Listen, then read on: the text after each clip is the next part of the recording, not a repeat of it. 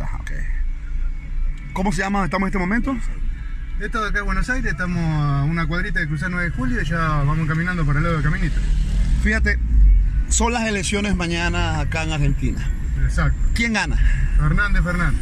¿Por qué? Porque la gente se cansó del neoliberalismo. Acá los medios de comunicación lo que hicieron meterle una fichita a la gente para que conteste siempre lo mismo sin ningún tipo de argumento, ¿entendés? ¿Y qué pasó? Generaron odio, odio, odio. Y como decía Jaureche, hace mucho tiempo decía, la gente cuando está bien vota mal y cuando está mal vota bien. Y es lo que está pasando ahora. La gente está mal y va a empezar a votar bien. ¿Te, das cuenta?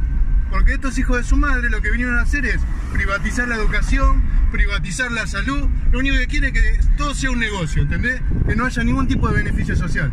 Eso es lo que está pasando en Chile. En Chile privatizaron hasta el agua, hermano. Y si diera plata del aire, le hubieran privatizado el aire también. ¿Te das ¿Qué, cuenta? qué diferencia hay entre lo que fue el gobierno de Cristina a lo que está haciendo Macri?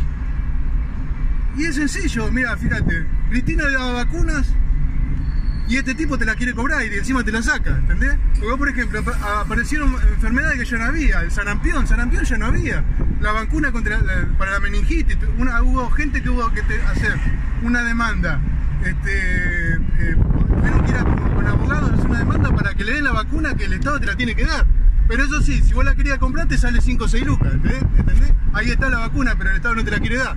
El tipo tiene plata para pagar la deuda a estos hijos de su madre, el FMB, pero darle la vacuna a la gente no, para darle la NETBUD a los chicos no, para la educación pública no, para la salud no. ¿Entendés? Eso es todo- para ellos todo negocio, es todo mercantilismo, ese es el problema que hay. Por eso la gente mañana va a volver a votar a lo que supuestamente le hacían mal, pero no es así, ¿entendés? Oh, se me pasó. Gracias, hermano. Por nada, pa. No, no.